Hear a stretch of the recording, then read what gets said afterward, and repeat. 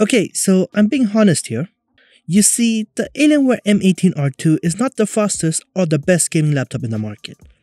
I mean, it can't even exactly be considered a laptop, considering its 4.23 kg weight. And I'm pretty sure it weighs much more, because I have it with me right now, so I kinda know it. It is the largest and heaviest mass-produced laptop in the market right now, excluding the MSI Titan, which by the way is actually lighter than Alienware. Yeah, big part things. However, with that much power, it needs cooling, and my laptop here runs the i9-4900HX RTX 4080 with 32GB RAM, not VRAM, RAM.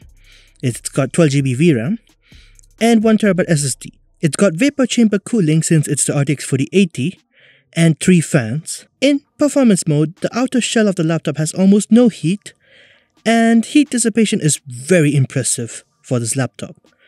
But if you accidentally touch the 360 watt power brick, your hand is toast. Now, that's when I had a thought. Would the laptop's performance improve if I cool the power brick?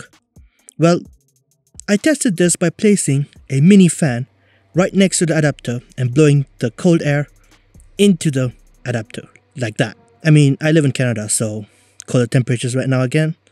So, yeah, a little bit more effective, I suppose. And I ran F1 24 to just test it and see if it works. And here are the two results. Now, as you can see, there's no difference. Like there's like the fluctuation performance might be a bit less with the cooling on the adapter, I suppose, but you know, realistically, you can't see it, and maybe it's just uh, my laptop was running at a different time, different time of day. I don't know, but there's no difference there.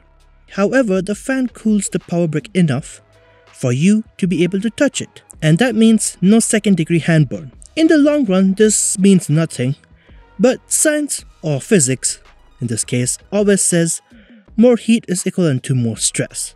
So maybe the power brick in the long term might be better off if it's cooled.